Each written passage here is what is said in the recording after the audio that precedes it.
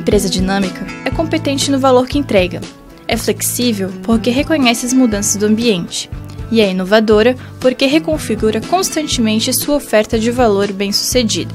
Vejamos uma experiência em Brusque, Santa Catarina.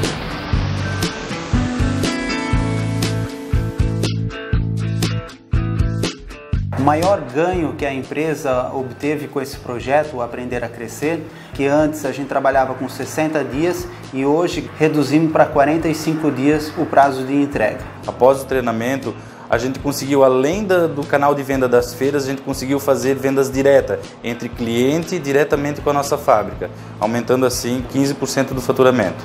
Um ponto estratégico dentro da empresa que seria a redução da nossa coleção. Porque eu, se eu vou diminuir minha coleção, eu tenho que buscar um conhecimento diferenciado. Grata satisfação foi os resultados obtidos, que a gente conseguiu uma grande redução de, de estoque de matéria-prima, em torno de 15%, um ganho em eficiência na produção, em torno de 14%. O mais gratificante de tudo foi o faturamento em si, foi, ele atingiu um objetivo que também foi de 14% a mais do que nós faturamos na coleção anterior. O Meta Aprender a Crescer, como nós vimos nas colocações dos empresários, ele alcança dois objetivos dentro da empresa. Um, o impacto no negócio, quer na melhoria dos processos, quer na melhoria dos produtos ou até a identificação de novos mercados. Mas também nós verificamos um desenvolvimento das competências dos funcionários da empresa, dos colaboradores da empresa. Essa competência em termos de habilidade, capacidade de comunicação, interação entre os diferentes grupos e principalmente a iniciativa.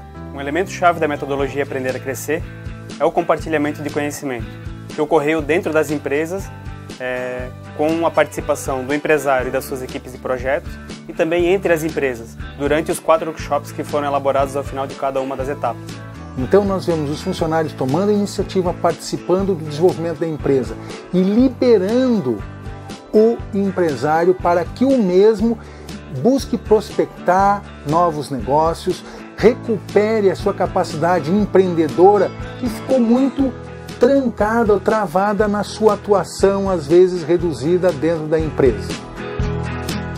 Aprendemos que para que a gente consiga crescer e fazer um, um, padrão uniforme de qualidade de produto, nós temos que delegar algumas ações. Pois com a organização é, a gente teve tempos é, livres para correr atrás de novos objetivos, novos mercados e com isso é, conseguir novos clientes. Conseguir delegar mais funções ah, para a equipe que a gente formou com com a liderança e também conseguir ter mais tempo para mim planejar, fazer meus planejamentos, criar minhas metas, trabalhar na área comercial, que é fundamental também da minha parte, ter essa relação do, do empresário com o cliente.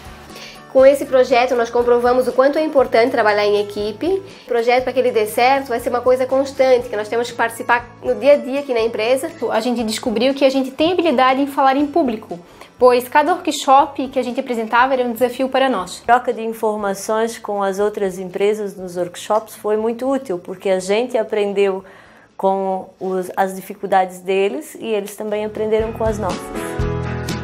Estou convicto que os resultados alcançados com a implementação da metodologia Aprender a Crescer com o grupo de empresas de confecções da região de Brusque podem ser replicados para outros setores e também em outros contextos e vale como uma boa metodologia para melhorar a competitividade das empresas brasileiras.